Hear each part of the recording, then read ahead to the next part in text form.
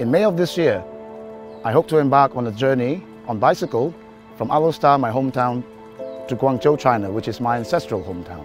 The journey will cover 4,000 kilometers and we hope to make the event in 11 weeks. I hope to also raise more money for future projects to help the needy. I'm David Wu.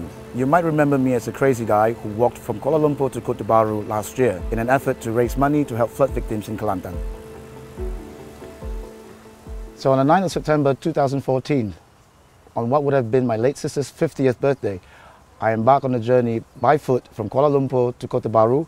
The journey was 600 kilometers long and it took me 25 days to get there. So this picture was taken at the end of the first day's walk, 26 kilometers on day one, up a huge slope, and uh, that took me about, I think, eight hours to complete.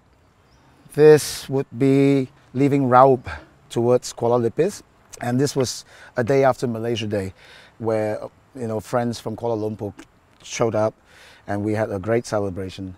Uh, all races, all religion, and that's the next day. That's me leaving uh, for Kuala Lumpur. This is Hayati Ismail of Food Aid Foundation, who I've been working with, and she's been of great help so far. So while I'm paddling to China, I hope to be able to highlight cases of homes that may need and require assistance, um, and hopefully also to persuade Malaysians to come forward to contribute towards the betterment of their homes. And while he's doing that, I'll be here locating, identifying and qualifying the homes that needs to be repaired and project managing it.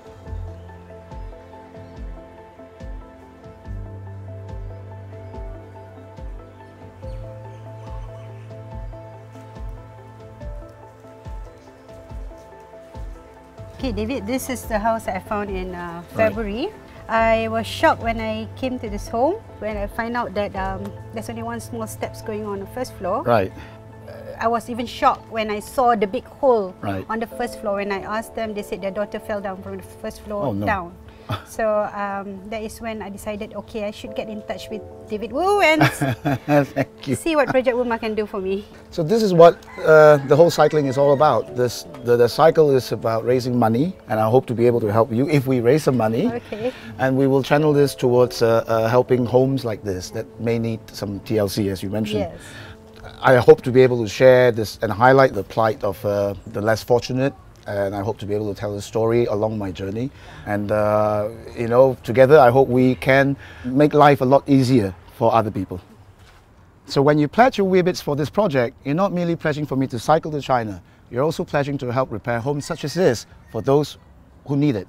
So come on, pledge your Weebits to me, and together we can make it happen.